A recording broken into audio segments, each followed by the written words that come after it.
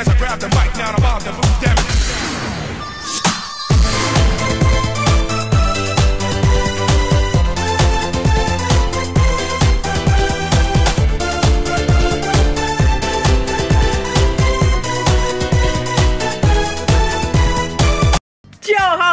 welcome back to my channel. Oke, apa kabar kalian semua? Semoga sehat selalu ya. Balik lagi ke Kapten Subasa Dream Team Dan kita bakal review lagi ya.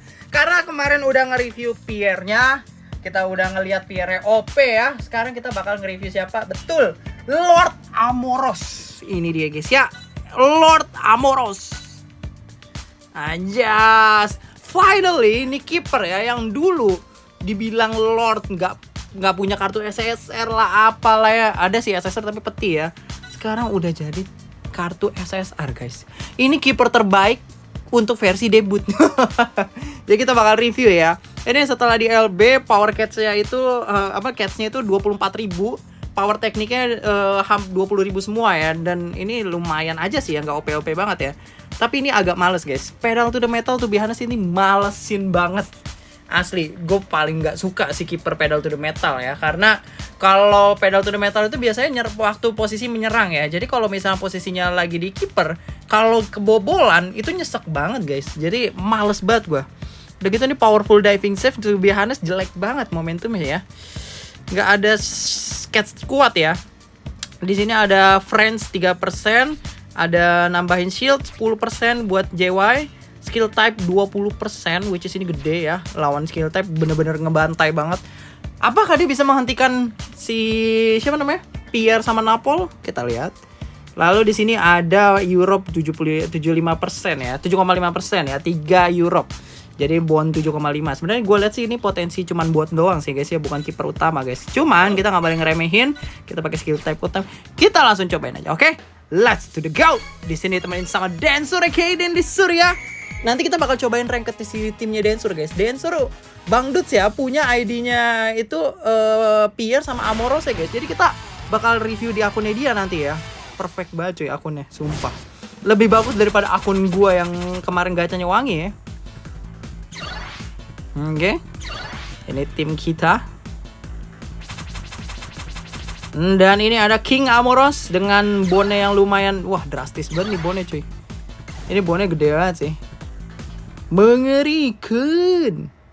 Ada Awi juga loh ya si Densur ya. Anjing emang. Si Bangdut kuat banget cuy. Oke. Okay. Konnichiwa Koni Koni. Oke okay, kita coba di sini. Guys gue mau pengen coba eksperimen ya. Ini pemain kita masih terlalu jauh sih ya. Gue mau pengen coba eksperimen si Napol itu uh, Pierre itu kita coba shot lawan Amoros dari luar kotak penalti guys.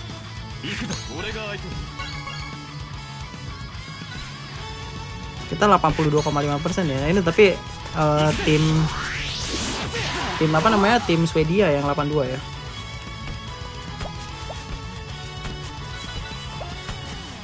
Duh nggak di luar kotak penalti dong nih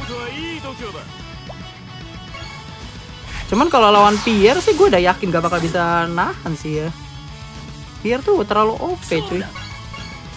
Nah buat yang nanya ya, ini harus match up guys. Jadi nggak mungkin nyala, nggak mungkin. Wah ini terlalu miring gak sih guys? Aduh, terlalu miring. Oke. Kita udah kena momentum. Ya Allah. Ini harus match up Densur, kampret. Nah kan, kena lagi. Harus match up ya. Kalau nggak match up tadi kalian lihat guys, momentumnya nggak nyala ya. Nah, yuk, let's go. Nah, ini baru nyala ya 774 ya. Kita lihat guys, Amoros bisa nahan si Pierre kan nih dalam kotak penalti nih. Gue rasa sih agak sulit ya beda 12 persen. Lumayan sih beda jauh sih.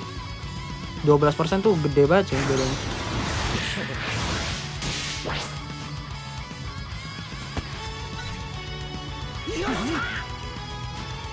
King Amoros is back boys.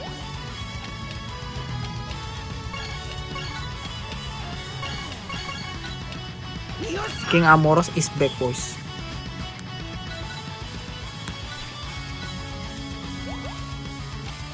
Hmm. Jauhan nggak ya? Gue mau pengen oper ke Levin sih. Cobain lawan Levin ya. Tadi momentumnya lumayan gede juga ya. Amoros ya lawan skill type. Anjir jauh amat. Oke.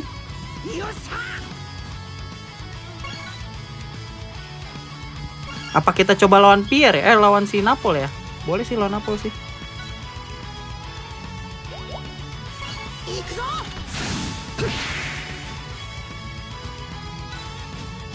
Boleh kita lawan Napol deh. Lo lewat. Oke. 130 ribu guys nih ya. Kita lihat guys.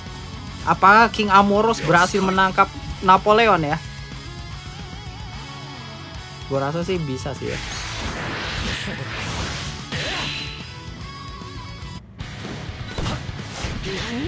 King Amoros bro. King Amoros. Buset, ini Amorosnya 140 ribu coy Napoleonnya. Buffnya gede banget ya. Wih, ya Amoros itu tadi belum pedal to the metal ya. Anjir, kalau udah pedal to the metal itu kuat banget ya.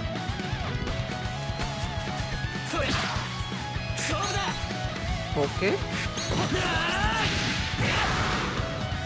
Oke, Marky Chop guys. 126.000. Oke, ini Pak pa, kalau tambahan ya. Anjir beda jauh sih.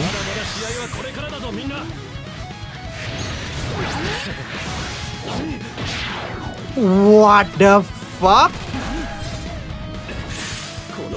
King Amoros gimana ini? Giliran di gua malah busuk di dancer wangi bacok.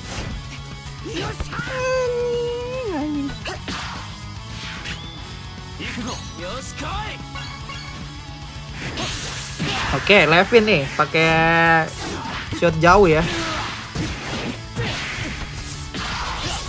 Oke, Levin. Levin pakai baju French keren juga ya. 128.000. Let's go.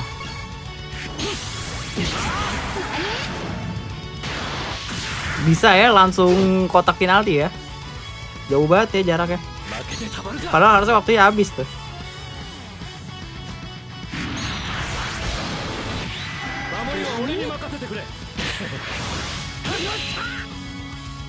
What? It doesn't make any freaking sense, guys.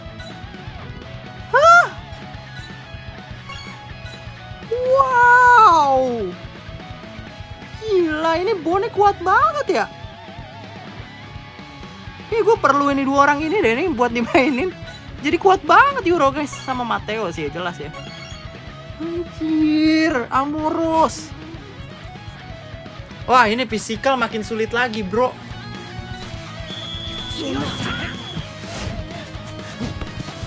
Oke, sini maju lo.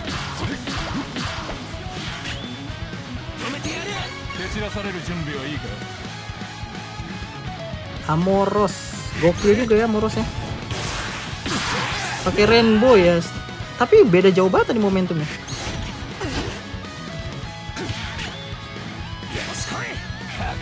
Buset 110 cuy. Gila nih Pierre bagus banget cuy. Ini Inside Master loh. Player begini sih Inside Master guys.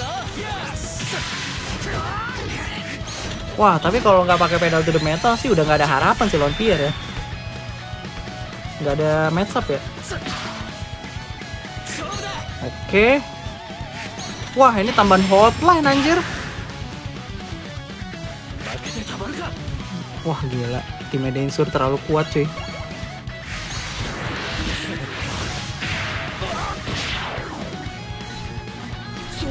Kenapa ini kelihatannya kayak, kayak King Amoros kita kenapa kurang ya guys ya giliran King Amoros dia kuat banget loh. Oh. Sini maju lagi loh.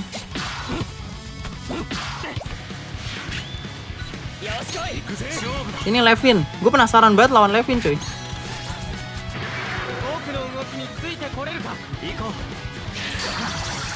Oke, kita lawan Levin nih menarik nih. Menarik.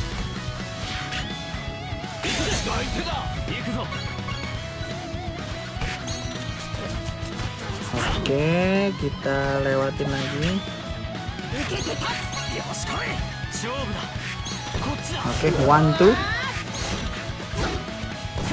Kita lawan King Levin, guys.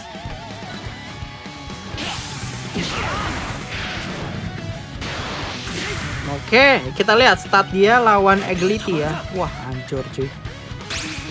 Tapi pedal to the metal oke sih ya. Ini karena bone gue kurang aja ya.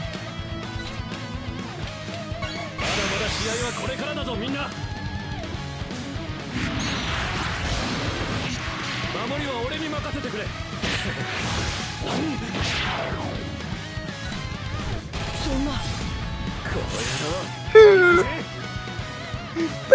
ini apa, Cok? Amoros kita kenapa jelek banget? Giliran dancer Amorosnya OP.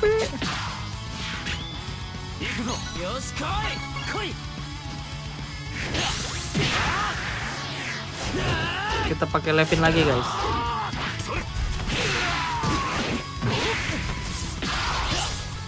Okay, Fortnite at the Midnight Sun.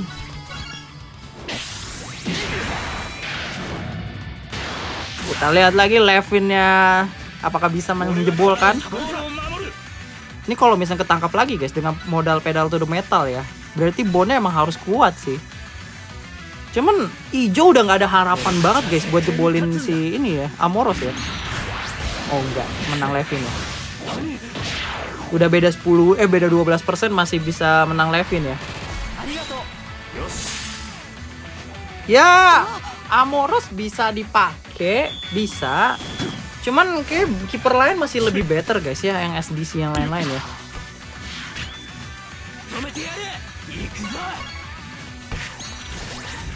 Oke, kita kasih lewat. Oke,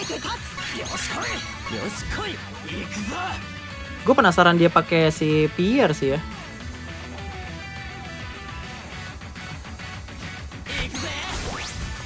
Anjing pakai high speed Mercil.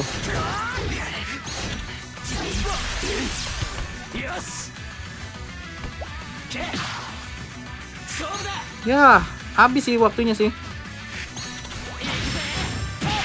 Habis habis waktunya. Eh pedal to the metalnya ya. Wah, parah lah juga sih ya. Amoros emang bener jelek, guys. Ini jelek banget sih.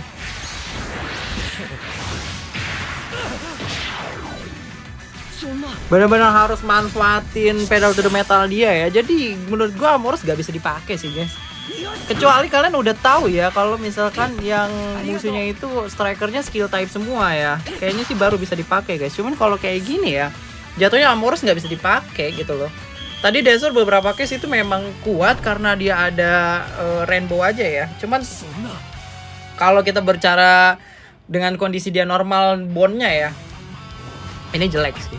Ini jatuhnya jelek guys. Even mirip-mirip sama static Genzo sih ya. Tadi kalian lihat ya, tak lawan agility aja itu kalau tanpa pedal true mental tuh cuma 103 115-an ya. Itu kecil banget guys. Setahu gue Genzo lebih better sih ya statnya ya Cuman kalau udah pakai pedal instrumental emang better si Amoros ya. Dan kalau lawan skill type lebih better lagi. Tapi ya nggak ada orang tolol gitu loh yang bakal mikir bisa pakai skill type gitu loh. Even pakai Pierre kayak gue bakal mikir-mikir sih ya. Cuman ya jadinya skor Amoros sih 6 lah ya. Nggak jelek-jelek amat sebenarnya guys, cuman pasifnya busuk ya. Sebenarnya itu statnya udah oke, pasifnya aja busuk banget ya. Tapi gimana menurut kalian untuk Amoros? Langsung tulis di komentar, oke? Segitu aja untuk video kali ini, semoga kalian terhibur dengan videonya. Jangan lupa komen, karena aku penasaran guys, menurut kalian, pendapat kalian Amoros ini gimana, oke? Thanks for watching and see you next guys. Bye guys.